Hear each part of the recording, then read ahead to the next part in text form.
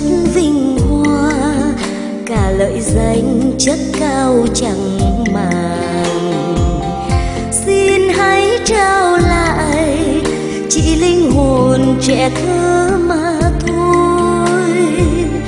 Tin tháng trong tay ngài, để từ đây chọn sống phúc vụ.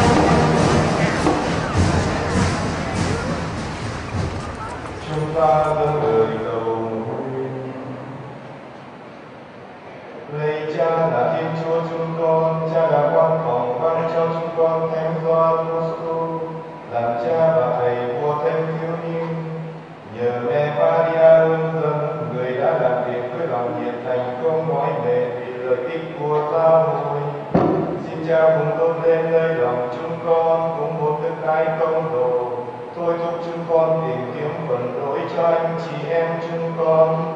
Cầu phong sư cha là sự tiền cao cả phi nhân.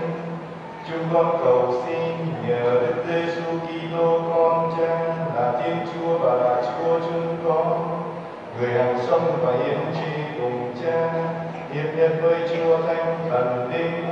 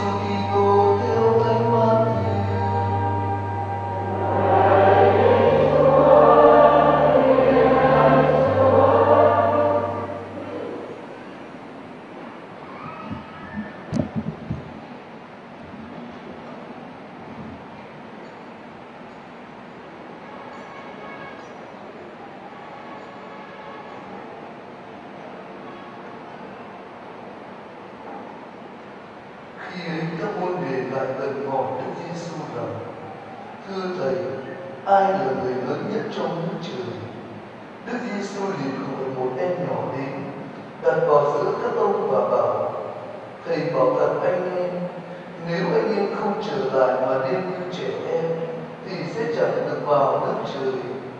Vậy ai tự hạ, coi mình như em nhỏ này, người ấy sẽ là người lớn nhất nước trời còn ai tiếp đón một em nhỏ như thế này vì danh thầy là tiếp đón chính thầy. Nhưng ai làm cửa cho một trong những kẻ bé mọn đang tin thầy đây phải xa ngã thì thà treo khối đá lớn vào cổ nó, mà sâu cho chìm xuống đáy biển còn hơn anh em hãy coi chừng, chứ khi một ai trong những kẻ bé mọn này, quả thật thầy nói cho anh em biết các thiên thần của họ ở trên trời không ngừng chiêm ngưỡng nhan cha thầy, đứng ngự trên trời.